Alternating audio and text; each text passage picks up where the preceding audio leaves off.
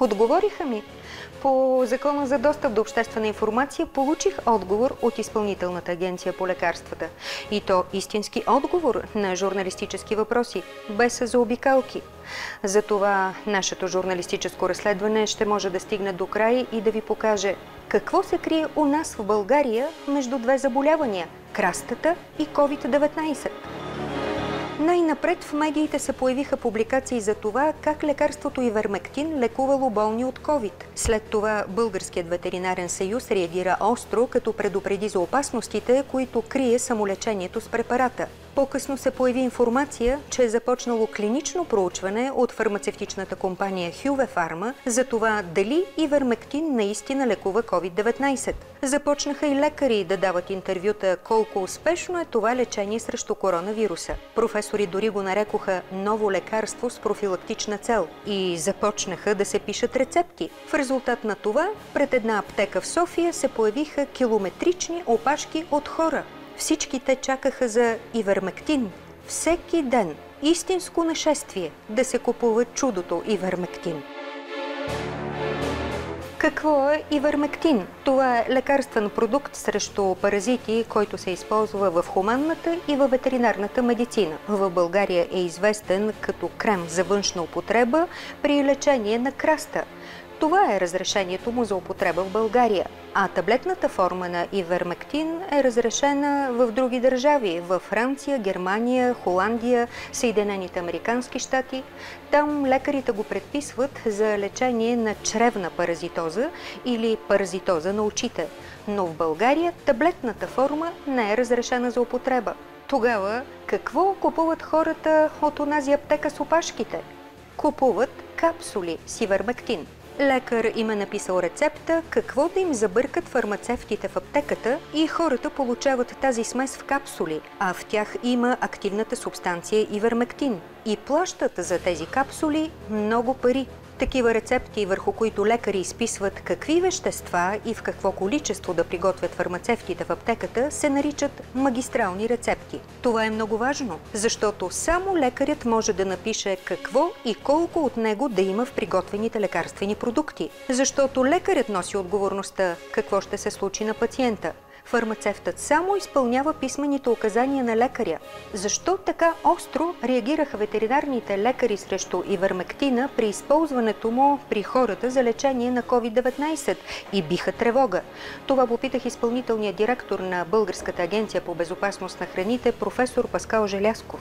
Ами защото лекарството е предназначено за ветеринарна употреба и няма как да се употребява за хора, преди да се направят изследвания, да се види неговата безопасност, защото доколкото ми е известно, дозата за лечение на COVID е съвсем различна от тази за приложение на лекарството и вермектин за хора.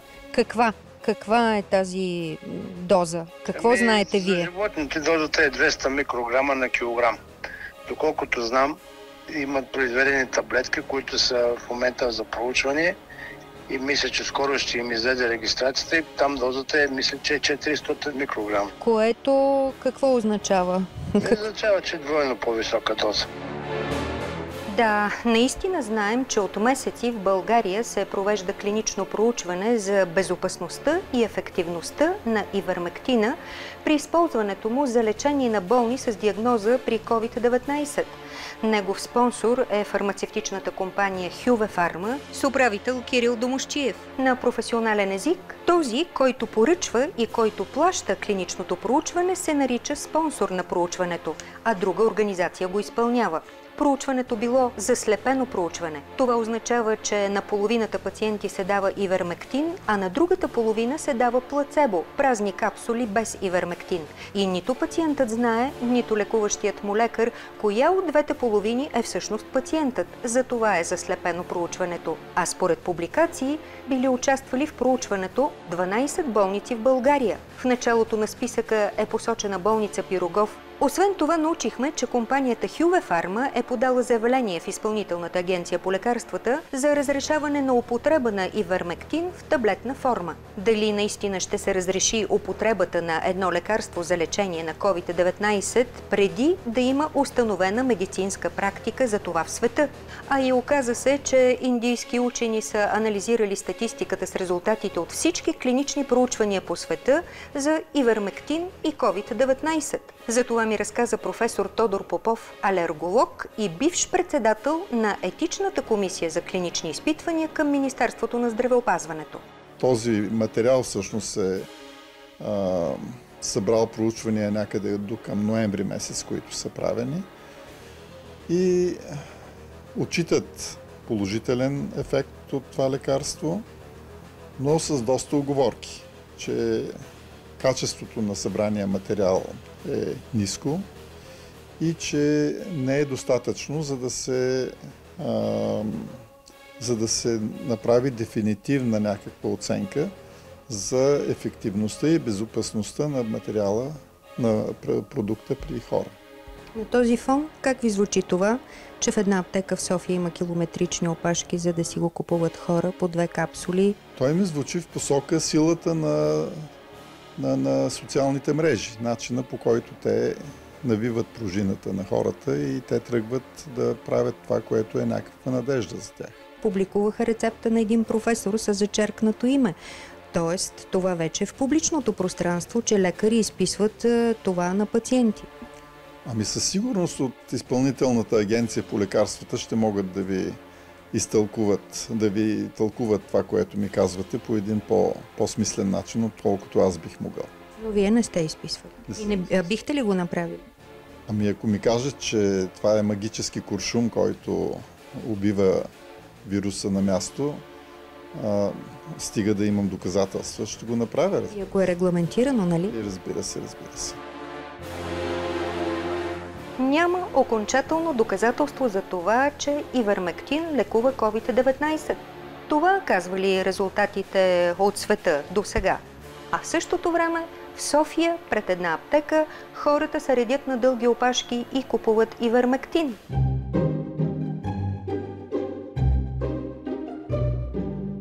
Делничен ден в София. Валеше дъжд. Хората чакаха пред педиатрична аптека Еродита на булевард Христо Ботев. Поразпитаха ги. Всички ще се купуват ивермектин. Два часа чакане на студа и дъжда.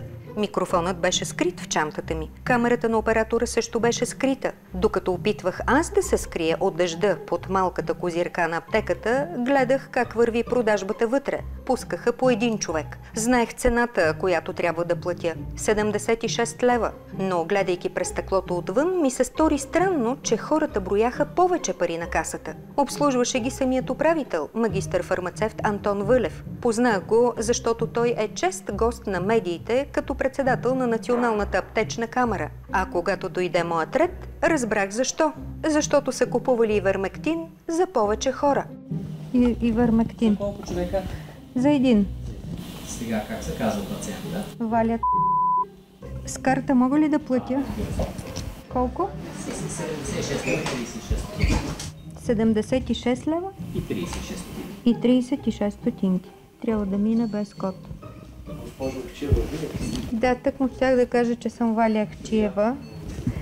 И вие сте фармацевт Вълев ли? Да, с вас говорим. Да. Мога ли да ви питам нещо? Каква рецептура използвате, за да се направят тези две капсули и вермактин? Така наречената утвърдена рецептура. Коя е тази утвърдена? От нашата лаборатория.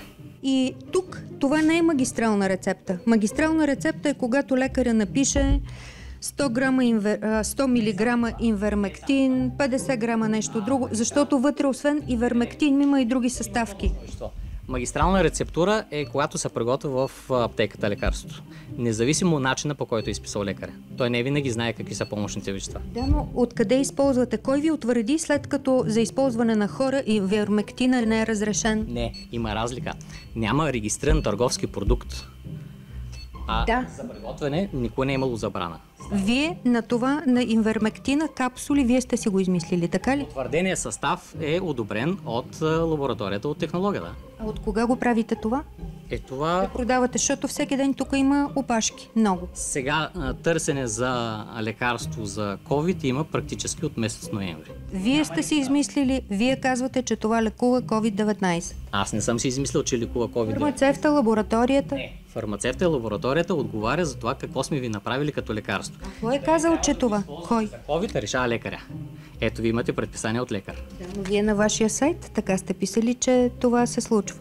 Ма това е показание. Има разлика. Може да се използва при COVID. Може да се използва при паразитози. Кой го казва това, след като още никой не го е казал? Това оказва световната литература. Не е необходимо Ами не, всички правят проучвания, но още няма основен доклад, няма. Те протоколи лечебни, които са публикувани официално. Какви обеми до сега сте направили такива капсули? Е, не мога да кажа, трябва да се прави справка. Те агенците по лекарство онзи ден проверяваха. Ние на тях сме дали тази информация. Тоест, проверили са ви, така ли? Нас не проверяват постоянно. Освен ивермектин, какво има в капсулата? Други съставки или ще кажете, че е тайна? Не, не е тайна. Вие трябва да знаете. Имате две помощни вещества. Активно вещество ивермектин, чисто вещество, магнезия в стеарат и микрокристална целулоза. И кой одобри тази цена? Коя цена? Тази 76 лева за толкова. се одобрява при екстемпоралните лекарства. Тя се образува на база на събраните данни, т.е. не данни, ами на събраните разходи, които се влагат в това. Кое струва толкова скъпо, като знаем ивермектина колко струва И колко като вещество? Е, вие трябва да го знаете, нали? Купувате го от някъде. и купуваме го, разбира се. Откъде? Нямам право да ви дам тази информация. Добре. Кой, кой е определил цената? Вие ли? Цената се изчислява на база на калкулация. Добре, но кой тук, нали? И в предприятието, да, дружеството. За две капсули ивермектин по 12 мг аз платих 76 лева и 36 стотинки и ги получих след два дни, идвайки отново тук, но в другата аптека е родита на съседната уличка. От интервюто с фармацевт Антон Вълев научих, че предната седмица Изпълнителната агенция по лекарствата била направила проверка в аптеката и блокирали количества ивермектин. Питам директора на агенцията по лекарствата Богдан Кирилов, вярно ли е това? Господин Кирилов, добър ден. Добър ден. Случайно ви срещам. Искам да ви питам, вярно ли е, че сте направили проверка в аптека Еродита, защото вчера в тази аптека на мен ми продадоха две капсули Ивермектин, който помагал при COVID-19 за цена 76 лева. И фармацевта управител Антон Вълев ми каза, че ИАЛ му били блокирали някакви количества и направили проверка. Вярно ли е това? Точно така. Беше извършена проверка във връзка с поступили сигнали. В момента колегите анализират материалите и когато имаме резултат ще ви информираме. Дори вашето име беше споменато за това, че вие приветствате използването на ивермектин за лечение на COVID-19. Вярно ли е това? Не съм си позволявал да коментирам тази тема, така че това твърдение не е вярно. Добре, ще чакаме резултатите от проверката и аз ще ви задам и моите въпроси. Писменно зададох въпросите си към Изпълнителната агенция по лекарствата и за продажбите на Ивермектин в аптека Еродита и за клиничното проучване на Хюе Фарма с пациенти болни от COVID-19, на които се прилага Ивермектин. Ето какво ми отговориха от Агенцията по лекарствата. През месец декември 2020 година Изпълнителната агенция по лекарствата е извършила проверка на двете аптеки, собственост на дружество Аптека Еродита ЕОД и са установени поддържани наличности от предварително приготвени значителни количества капсули Ивермектин. Върху откритите опаковки има поставено име Ивермектин Еродита, но отсъстват данни за номер, под който е записан съставът на лекарствената форма, номер и дата на рецептата, име и възраст на пациент, дата на приготвяне. За откритите в аптеката продукти не са установени издадени лекарски предписания, а рецепти за конкретни пациенти. Не могат да се идентифицират конкретни пациенти, медицински специалисти, издали рецепта, каквото е законовото изискване при приготвяне на лекарства в аптека. Установените в аптеката количества готови капсули Ивермектин са блокирани от Изпълнителната агенция по лекарствата. При проверката е установена цената, на която аптека Еродита е закупило активното вещество Ивермектин от чуждестранен търговец с активни вещества. Извършените изчисления показват, че продажната цена, на която се продават на дребно капсулите, надвишава повече от 100 пъти стойността на вложените лекарствени вещества в една опаковка с две капсули. Това е нарушение на член 12 от наредбата за цените на лекарствените продукти, която забранява да се начислява надбавка върху стойността на вложените лекарствени вещества, помощните вещества и опаковката. Действията на аптека Еродита са извършени с цел за обикаляне на изискванията на член 146 от Закона за лекарствата, които се отнасят за промишлено произведени лекарствени продукти. От описаните по-горе обстоятелства към момента следва, че в аптека Еродита промишлено се приготвят в големи количества серийно екстемпорални форми на партиди и се поддържа наличност от предварително приготвени значителни количества от продукта. По своята същност тази дейност е промишлен процес и следва да се извършва само само от лице, което притежава разрешение за производство, каквото аптеката Еродита ООД не притежава. По отношение на утвърдената в практиката рецептура за лечение на дадено заболяване, включително за COVID-19, такава е възможна само в съответната лекарска практика, в съответствие с утвърдените медицински стандарти. Поради това утвърждаването на практика за лечение на заболяване не е възможно да бъде осъществено в аптека от фармацевт, а заявлението за провеждане на клиничното изпитване е подадено на 4 май 2020 година. Издадено е одобрение от Агенцията по лекарствата и положително становище от Етичната комисия. Планираният период за продължителност на изпитването е 3 месеца. В тази връзка клиничното изпитване следва да е приключило, за което Агенцията по лекарствата все още не е уведомена официално. Клиничното изпитване е фаза 2 и е одобрено за провеждане в 12 лечебни центрове с планиран брой пациенти 120 души. Основната цел е оценка на ефикасността на ивермектин спрямо плацебо в комбинация с стандартна терапия за лечение на коронавирусна инфекция. В Изпълнителната агенция по лекарствата има подадено заявление за разрешение за употреба на ивермектин в таблетна форма с показания в рамките на добре установената му употреба в медицинската практика, което подлежи на оценка. За разрешаването за употреба на лекарствения продукт с вписване на ново показание, приложение при COVID-19, е необходимо да има данни от проведено изпитване фаза 3. Претенция заявление за фаза 3 не са предявявани като процедура пред Изпълнителната агенция на лекарствата. Какво научаваме от този отговор? Това, че аптека Еродита прави това, което прави един завод – произвежда значителни количества ивермектин, без да е регистрирана като завод и без да има сертификат за добра производствена практика.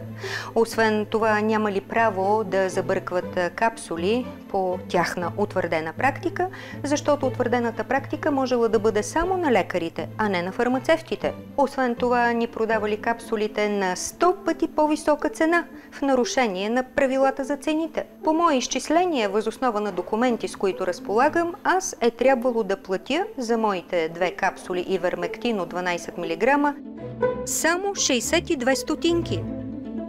Аз съм платила 76 лева.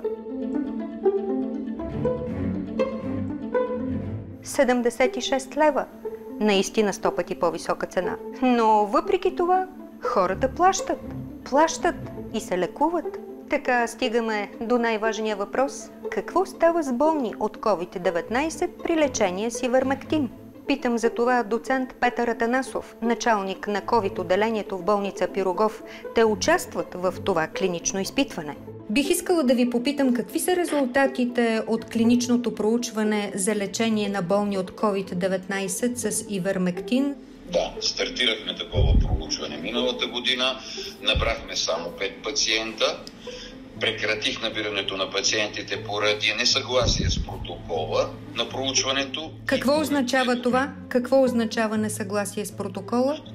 Ами първоначално протоколът изискваше да преустановим профилактиката с а, антибактериални препарати, разбирайте антибиотици при пациентите, при които са показани, за да можем да провеждаме лече, а, проучването с ивермектин, което е, меко казано, а, Ужасно. Подигравка. Подигравка.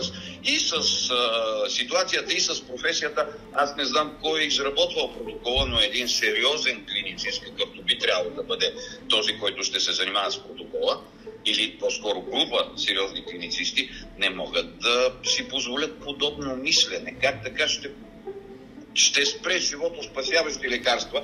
Говорим за тогава, когато има показания. Да. Пациенти, при които има показания да се прави профилактика. Така. Не може да спреш живото спасяваш доказали се лекарства, доказани методики на лечение и да започнеш лечение с нещо съвсем така имагинерно.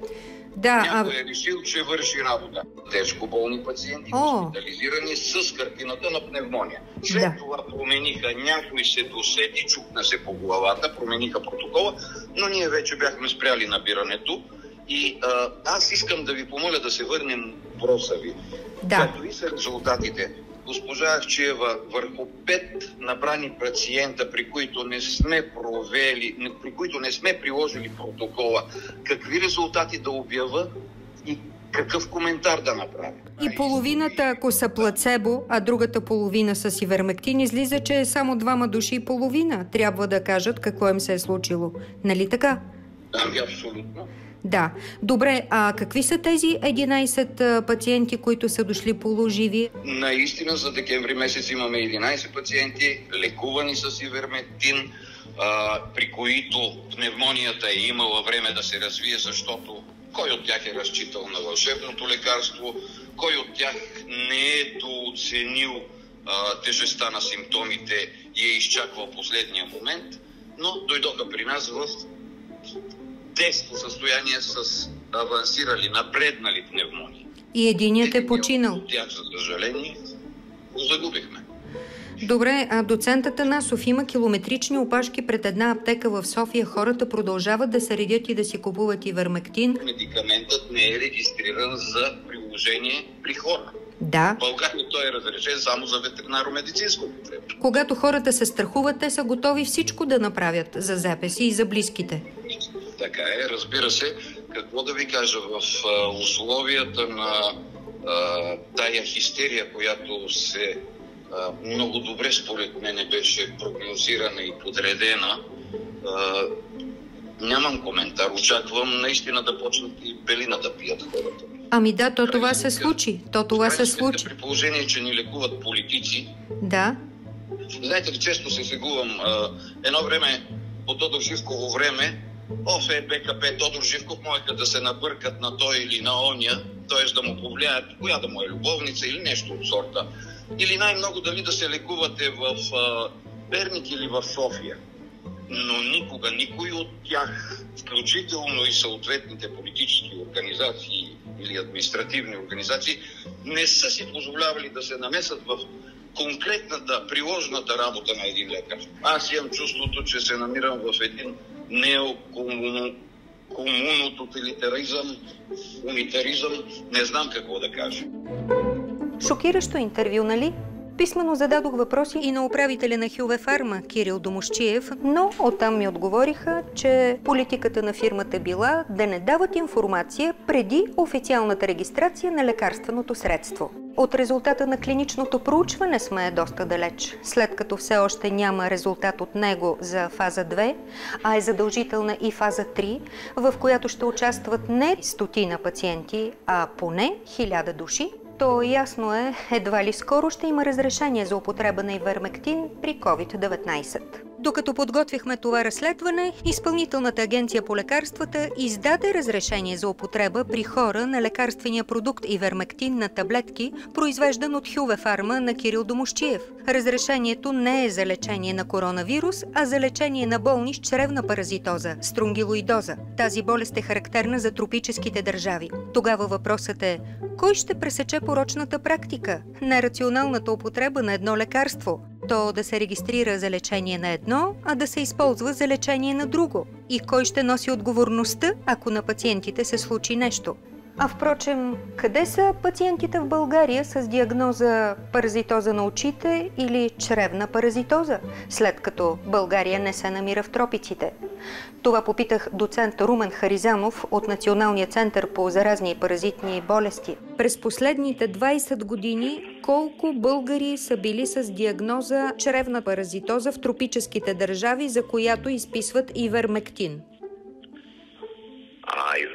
Ивермектин се изписва за онхоцеркоза. Това е така наречената речна слепота. И такова заболяване в България не е регистрирано онхоцеркоза. и по принцип за това е създаден този препарат ивермектина и по този повод неговите автори преди 5 или 6 години получиха Нобелова награда за медицина. Говорим за таблетната форма, нали? Да, да, за ивермектина говорим като Да. медикамент. Да, и какво всъщност, за какво Той го предписват? Е Да, за лечение на една филариоза, наречена онкоцеркоза. Това е заболяване, което, ако не се лекува, води до слепота. Затова и м, така, популярното му название е реч на слепота и е заболяване, което е разпространено основно в тропически страни, но в България такова заболяване не е регистрирано. добре, а за чревна паразитоза вие имате ли статистика? Ние имаме статистика за всички чревни паразити по години, но в България няма чревни паразити, които да лекуваме с ивермектин. Така е в България. Докато някъде по света трупат факти за лечението на COVID-19, у нас някой трупа пачки от страховете на хората. Питам се, какъв е наистина очакваният финансов интерес от компанията Хюве Фарма да вложи ресурси и време 210 дни по закон за разрешаването на един лекарствен продукт, който се използва за лечение на заболяване, от което няма нито един болен в България? Или някой разчита на печалба от нерационална употреба на таблетки и вермектин? Лекарство за лечение на едно да се използва за лечение за друго. И пациентите, изпаднали в шок и ужас от коронавируса, да се втурнат да купуват и да пият и вермектин, на каквато и да е цена. И те го правят. Плащат 100 пъти по-висока цена. И какво си купуват хората? Здраве ли? Кой ще им каже?